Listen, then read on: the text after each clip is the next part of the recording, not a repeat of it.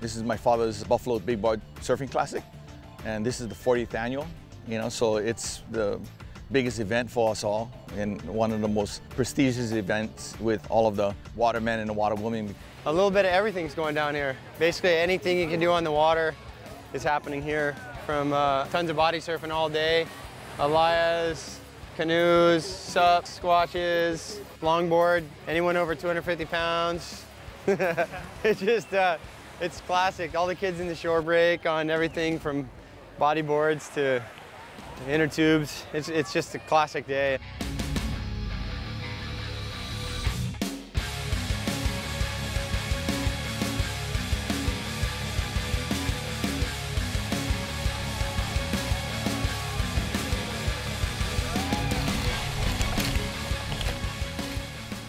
What I love about canoe surfing is its competitiveness. You have some of the best paddlers and surfers collaborate with each other to make epic crews.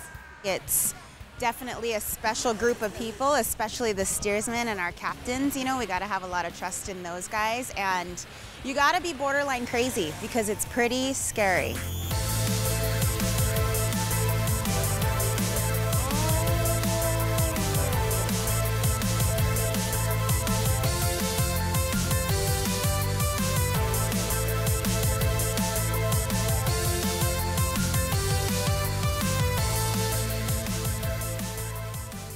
The Sub Squatch is a huge inflatable bodyboard, surfboard into one.